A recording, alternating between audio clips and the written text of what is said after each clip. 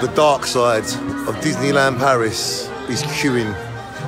The point is, you wait 50 minutes to an hour for one ride that lasts one minute to two minutes. So there is a dark side to all pleasure. And the dark side of Disneyland is the queuing. Would you not agree? Yes. What would you like to say about the dark side of Disneyland? Don't buy a fast ticket because you still have to wait.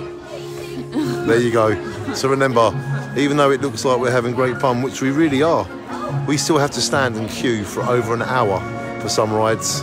And you do that, if you go on six rides, that meant you spent six hours queuing. So the dark side of Disneyland is the queuing. And ladies and gentlemen, if you don't work, you don't get to play.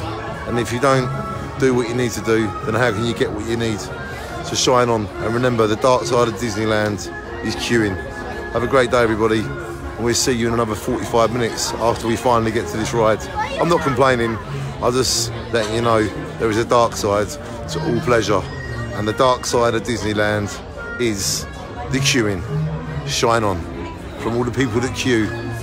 Yes, we are them people. We are the little people. We are the people that queue.